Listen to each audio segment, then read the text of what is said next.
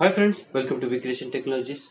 Today we are going to discuss about copy multiple files from one location to another location in C Sharp or I can say copy, copy multiple files from one folder to another folder in C Sharp. So in my last video I had explained you about copy file from one location to another location in C Sharp. So where I had just explained like with the use of the file.copy method we can uh, copy that particular file from one location to the another location in Sharp. So here we are just going to use the same concept but in place of a single file we are just trying to copy multiple files from one location to another location in C Sharp. So first what I'm just uh, trying to do is that so first I will take uh, like the one folder. Under that folder it contains multiple files and those files can be of like text file PDF file or or any kind of photos or any kind of file okay? And I'm just trying to filter some of the uh, files from that uh, folder or even if I can take all those files and by using the file.copy method I will put a for each loop over top of over that and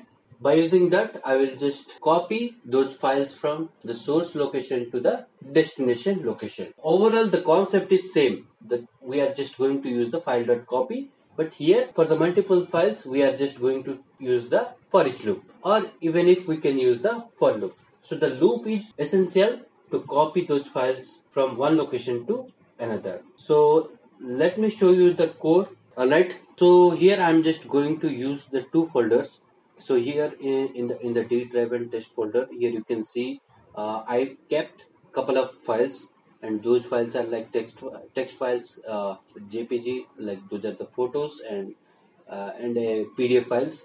Even if you can add any number of uh, files into, into into that file but here I have added only six files here. Okay? Now uh, I created another folder which is my destination folder so from the source folder which is the test folder I'm just trying to copy those files from that source folder to the destination folder. And here you can see this folder is completely empty. So so so in the in the in the, visual studio so let me create a variable. Uh, the variable is type of string. So the source folder name. Now equal to so i'm just going to give you the source folder name. So where all my uh, all my files are present. Okay. So and here I, will, I, I just need to add the at the rate. And now I'm just going to create another uh, variable which is the destination folder name so my destination folder is the the test one folder.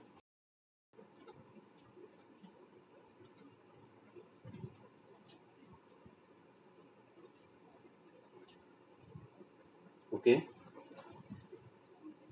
So uh, now the next thing what i'm just trying to uh, do is so from the source folder name i will retrieve all the text files so let me create a variable. Get all files. Now equal to. So here i'm just going to use the directory. So so basically this d drive and test folder. So basically this is a directory. And from the directory or you can say the folder. So from the directory we are just trying to get all those files. Dot get files method we are just going to use so this get files uh, method contains three overloaded methods. So the first overloaded method takes the uh, which is the which is the path uh, which is the path of the uh, folder name. Now the next is the path and the pattern and the third is the path pattern and the search option. So i'm just going to use the uh, second second overloaded methods even if i can use the first one also. But here i'm just going to use the second one because i need a filter of the text file. So that's the reason i'm just going to use the second overloaded methods so if i don't need a filter of the text files then i can use the first overloaded methods. So here I, I just need to pass the source folder name. Then here like uh, what type of files I just want to filter it. So here uh, the text files I'm just trying to filter so if I hover the mouse over the get files methods then the return type of get files is the string array. So I can change this one to string array also. Even if I can uh, I can kept uh, where also. So so there is no issue with that. So when this uh, when this particular line of code executes so it will retrieve all the files from that source folder which contains the text files so in my source folder it contains there are three text files. So when this line of code executes then it should get the three text files. And if it is not getting getting three text files then then obviously my code is wrong.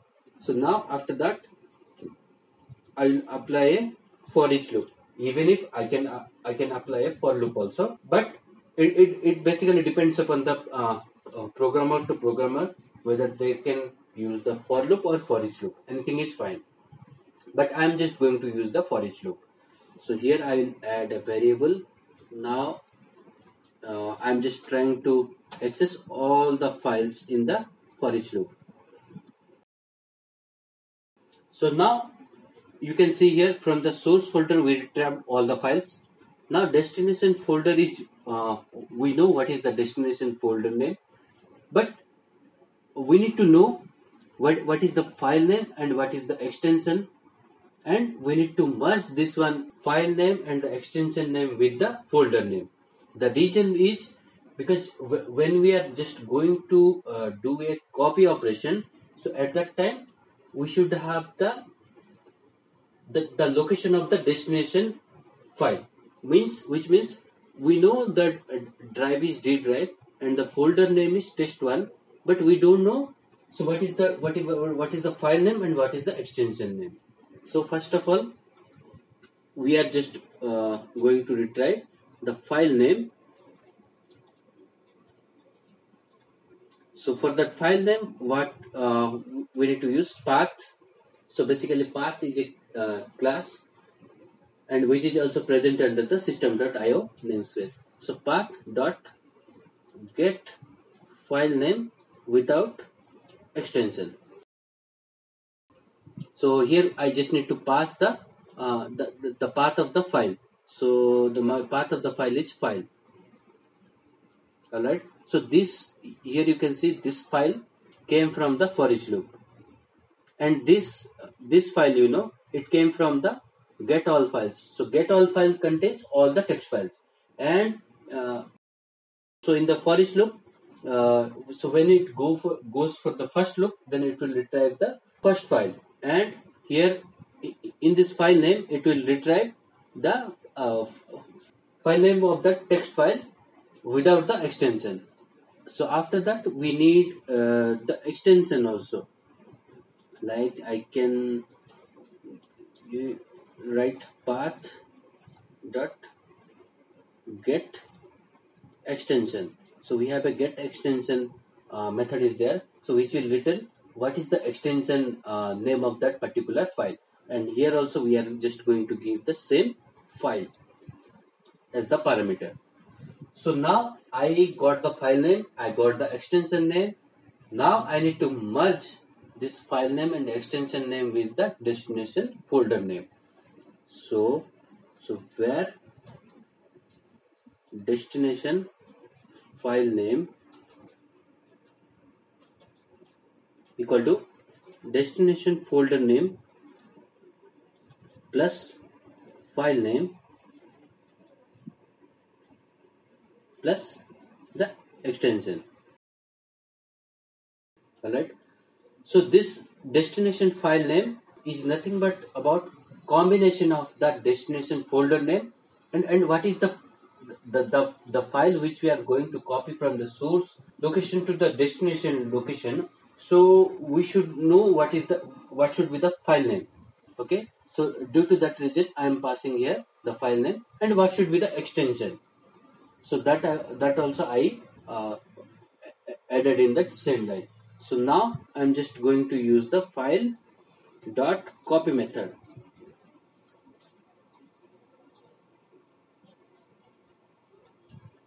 and here it also contains the two overloaded methods but we are just going to use the first overloaded methods.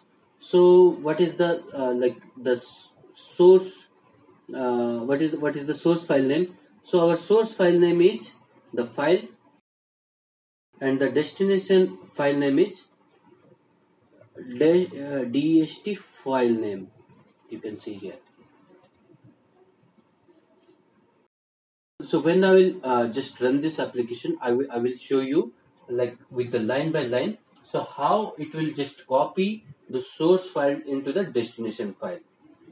So let me put a breakpoint here uh, as well as inside the for each loop.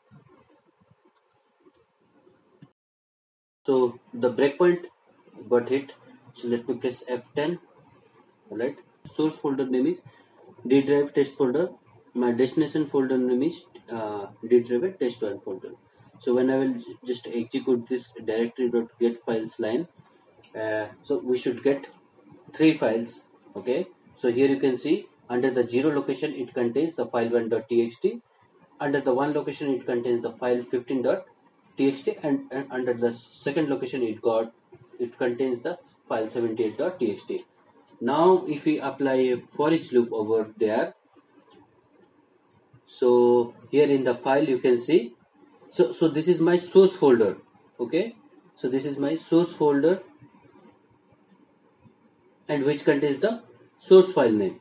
So my source file name is file1.txt which is present under the d driver test folder. Now if i execute it the next line. So here you can see my file name is file1 so here you can see the file name is file1 and the extension is .txt. Now if I execute this uh, destination file name now you can see here. So my destination file name is d drive test1 folder and file1.txt so when we apply a file.copy then it will copy that file1.txt from the source folder to the destination folder. And if I if I run it uh, again for the second loop then it, it, it does the same. So now let me press continue. Alright?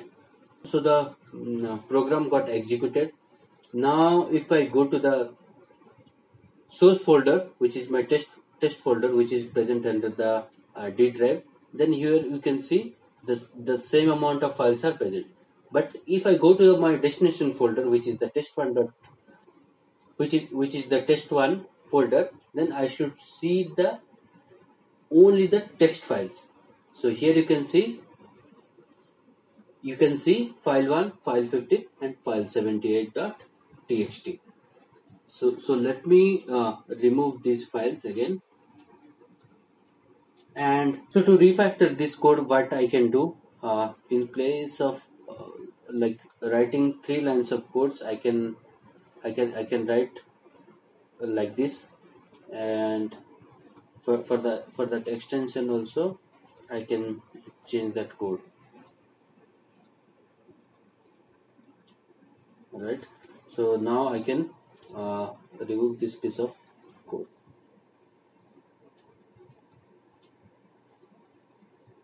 So now uh, now we, we we just saw like how we can copy the text file from the source folder to the destination folder.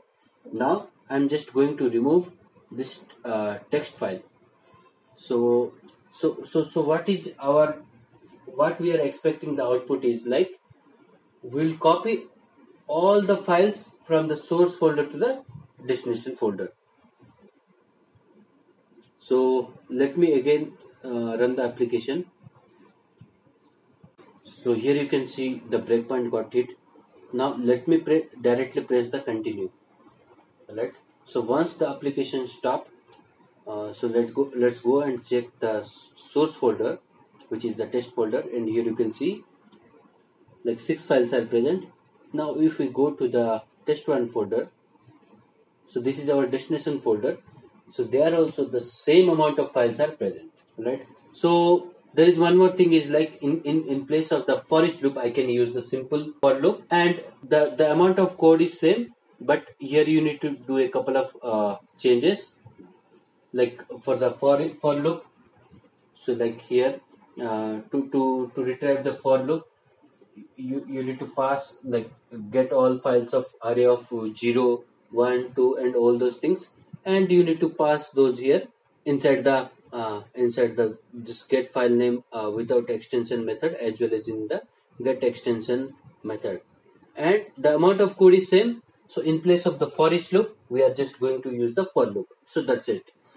Now the next thing is uh, someone asked like uh, what is the alternative of file dot copy so the file dot copy is provided by the microsoft. I think this is the best thing we can uh, use to copy those files from one location to another location whether it can be a single file or multiple files that is fine. But there is another way is there but that way is little bit complex. So i'm just uh, like just going to tell you within a few seconds. So so what we need to do is like first we need to create the folder and after that under and under the destination folder we need to create that file. Okay? Now from the source file we need to read all those data from the source file and we need to write under that destination file. So this process is a little bit complex. Like first you need to read and then you need to write it and this process is a complex one and it will take some more time. But if you if you are going to use the file dot copy then it will take much more less than time as compared to the read and write operation. And here you can see uh, i had explained like you can uh, you can copy any type of file. This is not uh, specific to the text file or not specific to the pdf file. You can copy the excel file also. You can copy the csv file also. You can copy the copy those pictures also jpg jpg or jpeg or anything. Uh, now the last thing is like someone asked like without using the for for each loop or for loop can we do that uh, like file dot copy? I don't think so it is possible. Because see we are uh, doing a multiple copies uh, of file from one location to another location. So without for each loop it is not possible. So this is all about our today's video. Thank you. Please like and subscribe to our channel.